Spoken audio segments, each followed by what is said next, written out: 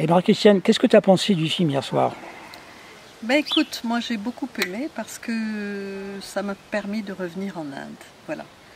J'ai visité l'Inde plusieurs fois il y a un certain nombre d'années et je retrouvais l'Inde avec euh, son brouhaha, cette pagaille apparente dans laquelle il se retrouve, euh, ces gens qui faire, toutes ces petites gens qui travaillent, euh, c'est une fourmilière.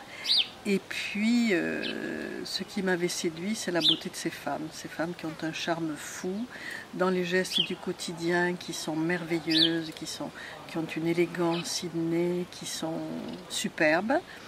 Et en même temps, euh, dans cette pauvreté, cette, euh, euh, cette connivence entre les femmes qui sont quand même dans des conditions sociales difficiles et qui arrivent malgré tout à faire face et à affronter le quotidien d'une manière poétique finalement. Et puis l'Inde avec mais c'est charme, quoi. C'est. Bon, les trains surchargés, puisque moi j'ai voyagé en train, surbondé, mais ça fait partie de l'Inde quand je m'y suis retrouvée tout à fait.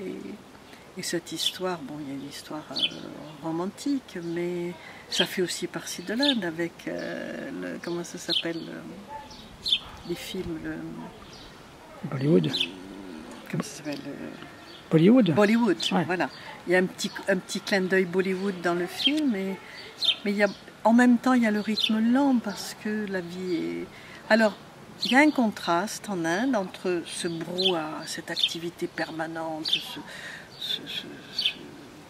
il y a des gens partout, tout le temps, jour et nuit, et en même temps cette lenteur, parce qu'ils circulent à dos à vélo, à pied, et, et voilà, c'est un pays de contraste avec des riches, des pauvres, des...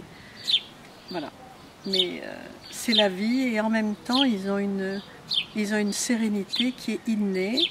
Et, et quand tu vis près d'eux, ils te font partager cette sérénité. Tu es, tu es, euh, ils t'apportent un apaisement, je trouve.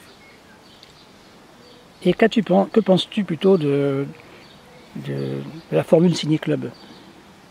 Oh, Toi, qui, toi qui vas souvent au cinéma. Ben, je trouve que le ciné-club, c'est un moment où on peut s'arrêter. On s'arrête, on se pose, on n'est pas dans la consommation, c'est-à-dire entre deux courses, je vais voir un film, euh, après ça je fais un truc. Là, tu te poses, tu arrives, tu es à l'écoute, ça te permet de savourer le film, d'aller plus loin dans, dans, la connaissance, parce que tu apprends toujours plein de choses sur l'auteur, sur euh, vu qu'il y a des experts qui t'apportent quelque chose, parce qu'on n'est pas expert, même si on connaît un petit peu le pays ou le sujet.